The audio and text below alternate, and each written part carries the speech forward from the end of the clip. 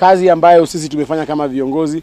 Tuko na uhakika Mheshimiwa William Samoei Ruto hako mbele, lakini sasa tunataka tu cement support ya Mheshimiwa William Samoei Ruto na candidates wetu wote wa Kenya Kwanza, kwa sababu najua tumebaki na karibu takriban wiki saba kufika katika uchaguzi, so tunataka kusolidify na kucement ile support ambayo tunataka kupatia Kenya Kwanza, kwa sababu sisi kama jamii ya mkoa wa Magharibi tunajua kwamba mahali jamii yetu imepata nafasi ni kwa Kenya Kwanza. Ukiangalia Mheshimiwa Musalia Mudavadi amepewa nafasi ya prime minister pale katika serikali ya Kenya Kwanza, huku kwingine hatuna nafasi yoyote.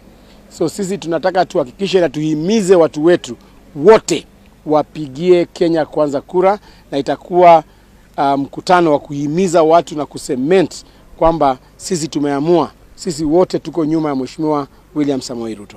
This will be the official launch of the presidential campaign western chapter of William Samoei Ruto. It's going to bring together all the people of Kakamega. We started small, but we have become big.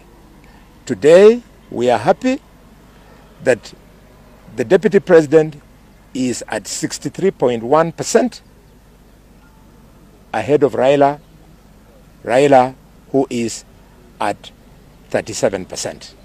We in the Kenya Kwanza coalition espouse the value of social cohesion.